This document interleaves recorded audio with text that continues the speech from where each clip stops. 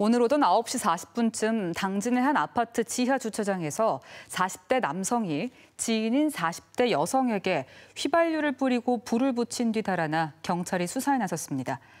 가슴과 목 등에 화상을 입고 병원으로 옮겨진 여성은 다행히 생명의 지장은 없는 것으로 알려졌습니다.